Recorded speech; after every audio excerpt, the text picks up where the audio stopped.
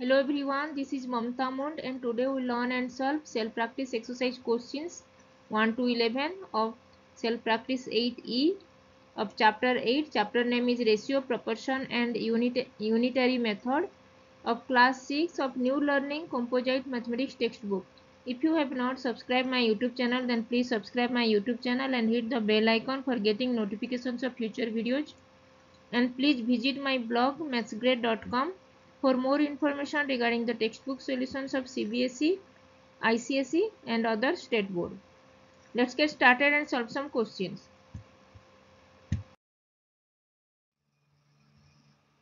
Today we will learn and solve self, self practice exercise questions 1 to 11 self practice 8e chapter 8 chapter name is ratio proportion and unitary method and topic is proportion.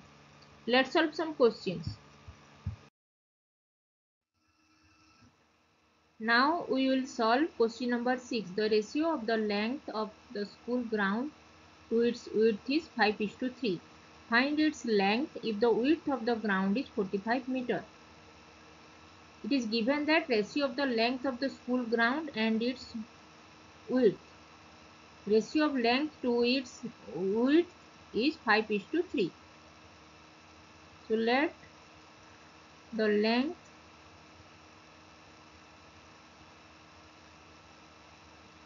of school ground is 5x and width of ground is width of school ground is 3x 5 is to 3 means 5x length is 5x and width is 3x so find now we have to find out Find its length if the width of the ground is 45 meters. It is given that width that is 3x is equal to 45 meter. This implies x will be transposing this 3 to the right hand side. Here 3 is multiplied with x. When transposing this 3 to the right hand side, this multiplication changes to division. That is 45 divided by 3 is 14, 15 meter. So value of x is 15 meter. Now we have to find its length.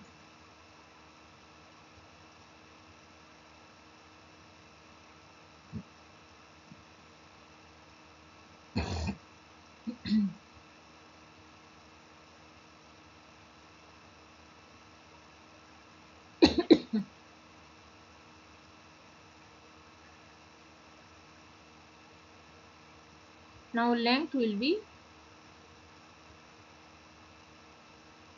5x which is equal to 5 multiplied with 15 which is equal to 75 meter.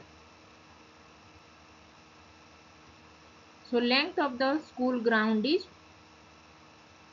75 meter.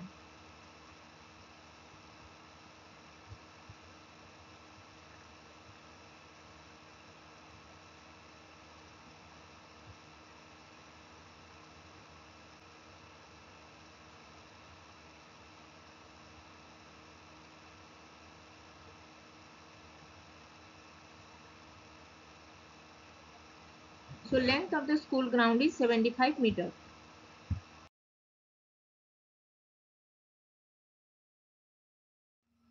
If you have not subscribed my YouTube channel then please subscribe my YouTube channel and if you have any doubts then please write in comment section and I will reply.